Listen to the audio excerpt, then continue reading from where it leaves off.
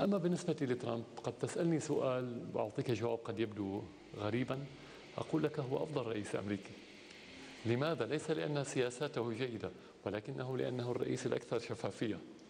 كل الرؤساء الأمريكيين يرتكبون كل الموبقات السياسية وكل الجرائم ويأخذون جائزة نوبل ويظهرون بمظهر المدافع عن حقوق الإنسان وعن القيم الأمريكية الراقية والفريدة والقيم الغربية بشكل عام ولكنهم عبارة عن مجموعة من المجرمين الذين يمثلون ويعبرون عن مصالح اللوبيات الأمريكية وهي الشركات الكبرى السلاح والنفط وغيرها.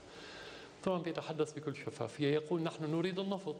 هذه حقيقة السياسة الأمريكية على الأقل ما بعد الحرب العالمية الثانية. نحن نريد أن نتخلص من فلان نحن نريد أن نقدم خدمة مقابل المال.